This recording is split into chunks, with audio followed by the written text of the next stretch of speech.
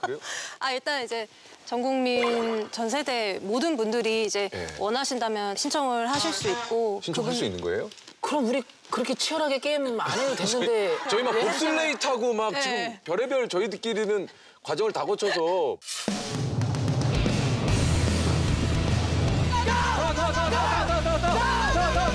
하영 온다 하영 온다 하영 온다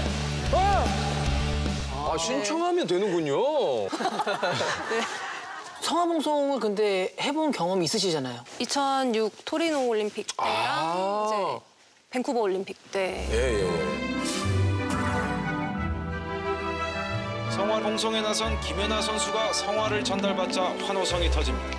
진짜 불이니까 또 이게 들어보면은 많이 무거워서 아, 그래요? 또 어릴 때고 하니까 팔도 아픈데 이제 인사도 해야 되고 해서 또 웃으면서 또 해야 되고 예, 하니까. 예, 그래서 어느 정도 좀 빨리 뛰어야 좀 느낌이 좀 험나지 않을까요? 좀. 그럼 너무 좀- 빨리 끝날걸요 아마 200m니까 아 진짜요? 에, 전력으로 몇 뛰시면 뛰고 이제- 이런 줄 아셨어요? 아 들고 몇 킬로 뛰는 거? 아, 막 뛰다가 아, 아니- 중간에 물 먹고 이거는 줄 아셨어요? 마라톤처럼 아 아니구나. 네, 거리가 그렇게 길지 않아서 옷은 반팔이 좋겠죠?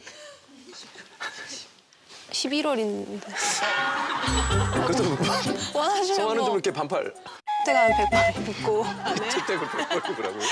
아, 김연아 씨 아마 말이 슬슬 가시가 좀 돋쳤네요.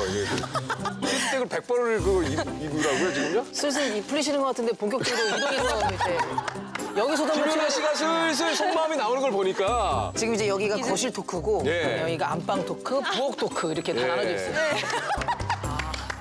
좋습니다. 아 저희가 그 성화봉송을 이제 언제 하게 되는 겁니까? 올해 11월에 이제 그리스에서 체화를 한 성화가 이제 인천공항을 통해서 들어오는군요. 서울로 들어온다고 합니다. 101일간 성화봉송 릴레이를 하게 됩니다. 아 그렇군요.